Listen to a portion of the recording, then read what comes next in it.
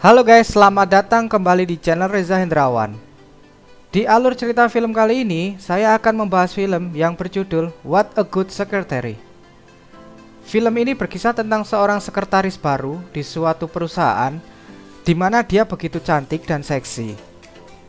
Dan nantinya si sekretaris ini akan jadi bahan pengecerotan untuk bos dan karyawan di sana. Penasaran dengan ceritanya? Langsung saja ke alur ceritanya. Gasken!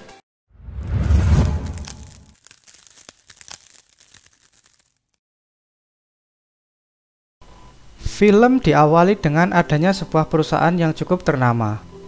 Perusahaan ini bergerak di bidang perekrutan dan penyedia karyawan. Bos di sini bernama Jung. Lalu ada dua karyawannya, kita sebut saja Son dan Tan. Di suatu pagi mereka sedang meeting. Di situ sekretaris Pak Jung mengatakan bahwa dia akan cuti hamil selama satu bulan. Singkat cerita, Pak Jung yang membutuhkan sekretaris baru pun akhirnya sudah menemukan sekretaris yang ahli dalam bidangnya. Dan datanglah sekretaris tersebut dengan menggunakan pakaian yang begitu seksi. Sekretaris ini bernama Kim. Kim pun langsung masuk ke gedung tempat kantor mereka. Saat berada di tangga, Kim bertemu dengan Son dan Tan. Langsung saja Kim menanyakan keberadaan kantor tersebut. Akhirnya, Kim diberitahu bahwa kantornya berada di atas. Namun, saat Kim naik melalui tangga, si Son ini tidak bisa memalingkan matanya dari bodi semlohai Kim. Singkat cerita, Kim langsung diperkenalkan ke Pak Jung. Lalu Kim diajarkan apa saja yang menjadi tugasnya di sana, sampai membuatkan kopi kesukaan untuk Pak Jung. Saat sedang dijelaskan tugas-tugasnya, Tiba-tiba Pak Jung lewat di depan Kim dan langsung menatapinya dengan penuh nafsu. Kim pun membalas pandangan Pak Jung. Saat jam pulang, Kim menjatuhkan dokumen-dokumen penting milik perusahaan. Bukannya kena marah, tapi Kim mendapat senyuman dari Pak Jung. Singkat cerita, Kim sudah terbiasa dengan pekerjaannya di sana. Dan saat dia membuatkan kopi untuk Pak Jung, Pak Jung langsung mengatakan bahwa kopi buatan milik Kim sangatlah enak. Keesokan harinya, seperti biasa, mereka sedang melakukan meeting. Di sini Kim mendapatkan apresiasi dari Pak Jung karena kinerjanya yang sangat bagus.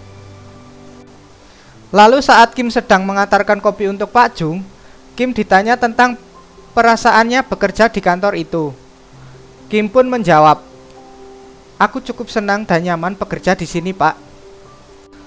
Sin berpindah ke Son dan Tan yang sedang bergosip di atas kantor sambil menghisap rokok. Mereka membicarakan body Kim yang sangat semlohai dipandang mata. Saat akan pulang bekerja, Son dan Tan berpamitan dengan Kim. Lalu Kim pun berpamitan dengan Pak Jung, yang ternyata dia sedang lembur. Dan suasana di luar pun hujan. Tak disangka-sangka, Kim kembali ke ruangan Pak Jung sambil membawa makanan dan minuman. Pak Jung pun kaget melihat badan Kim yang basah kuyup. Akhirnya mereka berbincang-bincang dan menikmati makanan itu.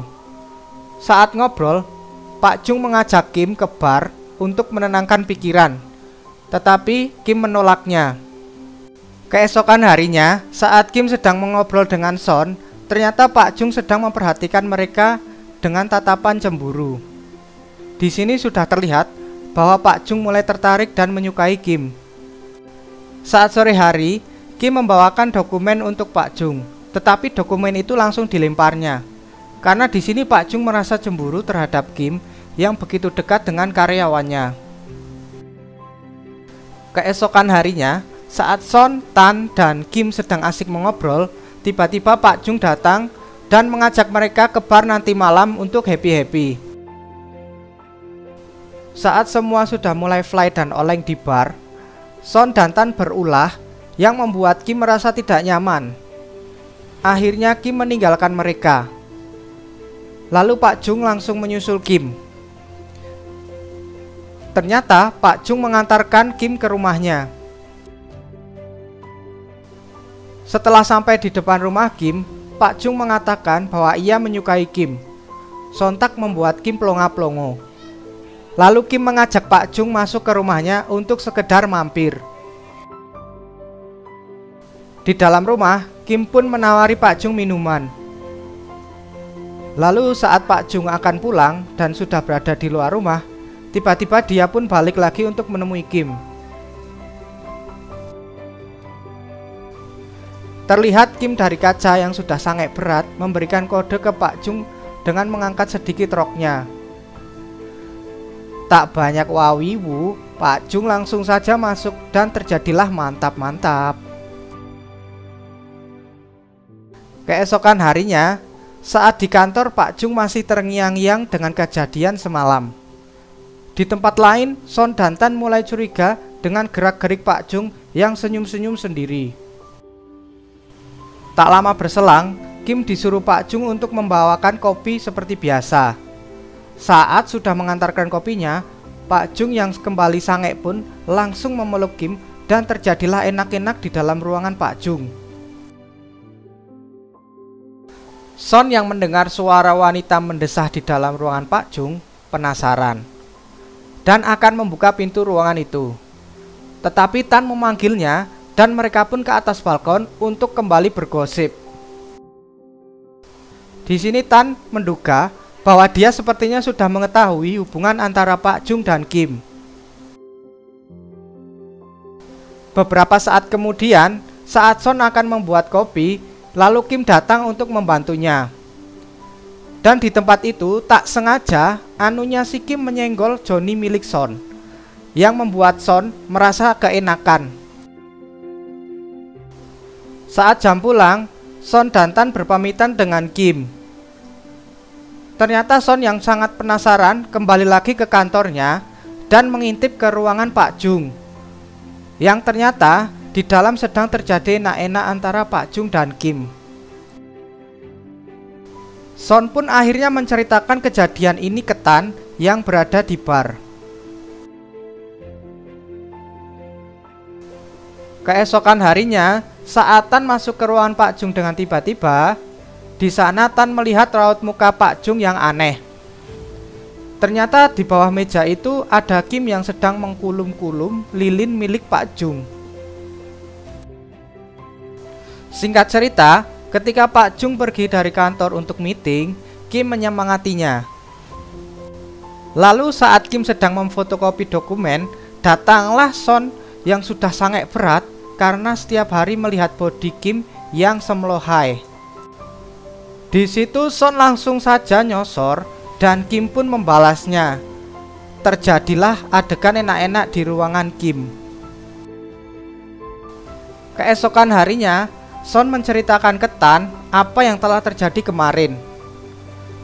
Tan yang tahu, akhirnya dia pun juga ingin merasakan body Kim yang sangat semlohai. Tetapi dilarang oleh Son. Lalu keesokan harinya, mereka melakukan meeting darurat karena ada klien yang mengajukan kerjasama dan meminta uang untuk perjanjian.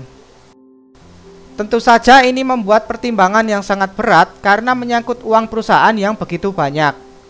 Setelah berunding cukup lama, akhirnya Pak Jung pun mengirimkan uang perjanjian tersebut sebagai persetujuan.